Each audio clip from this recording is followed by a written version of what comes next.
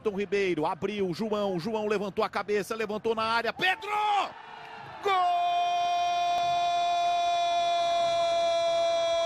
do Flamengo! O Bandeira deu impedimento.